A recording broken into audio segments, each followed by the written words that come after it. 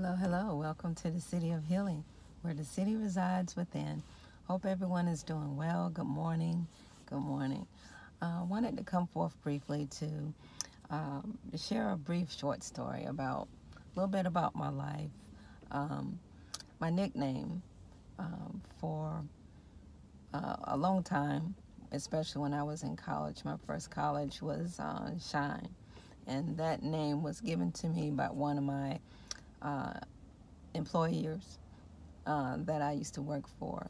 And basically, I guess she used to recruit young people um, to model.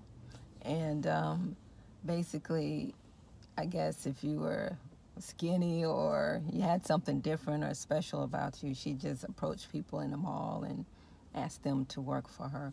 So that's what I did. One of my jobs when I was in my early 20s was modeling clothes, and we get we got to keep some of the clothes and got a little money as well, and got to travel a little bit.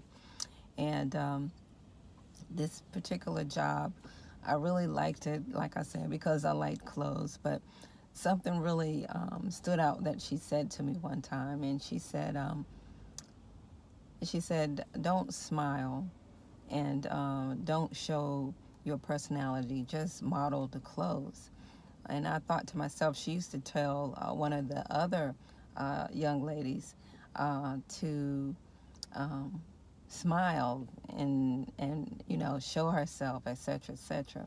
But for me, she told me not to smile, not to show my personality, and um, and I thought you know that was part of what modeling was is showing yourself. But I took that as you know she didn't really think that I was pretty enough to actually smile and show my personality. But my nickname was Shine because, you know, when I look back yesterday, well, not yesterday, but a few weeks ago when I was my, at my aunt's house, at some of my pictures, I noticed how bright and shiny my eyes were. And then sometimes now they get like that. And some people wonders like, how do you get your eyes to shine? I was like, I don't know. They just do sometimes and um, especially I guess if I'm happy and doing things that I like, they do that.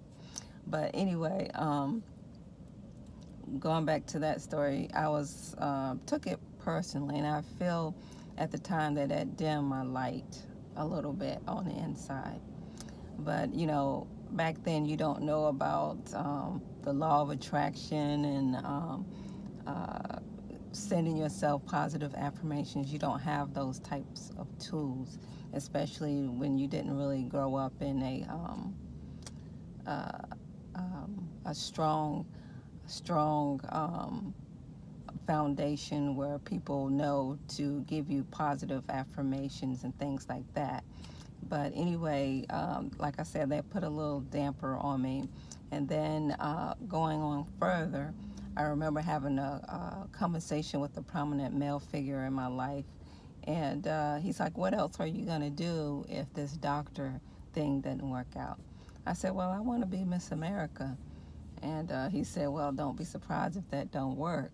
You know, and at the time I was like, "What did he really say that?" And now it's like kind of funny, but anyway, uh, I did. I took it to heart, and I felt that that dimmed my light a little bit too. And so going forward, also, you know, I was in one of my first my first real relationship with a guy, and um, it was a very um, great relationship. In that relationship for four years in college, and uh, he was a very nice looking guy, and I always said, you know, why did you choose me? Why not another girl? Why, what do you like most about me? He said, well, I didn't want to be in a relationship with someone that's real pretty because then they'll get all attention. And I was like, wait a minute, wait a minute. So are you telling me that I'm not pure, pretty? And he's like, oh, no, I didn't mean it that way. I was like, well, you said it now, so I got this. But anyway, needless to say, even though I was in that relationship for a long time and uh, he made up for it, it didn't work out. And then going forward, you know, in another prominent relationship that I was in, um, I was telling him about what the other prominent person in my life told me. Uh, and he said, Well, he got a point, you know. Um, I'll support you 100%, you know, with this Miss America thing if you're serious. But don't be surprised if it don't work. I was like, what? I was like, wow, people don't give you the support that you want with your dreams, even though I wasn't really serious, serious about it. But, you know, uh, getting a lot of um, negative feedback from different people, and then you go to prominent male figures for support and encouragement, and then that's what you get. It kind of dims your light a little bit.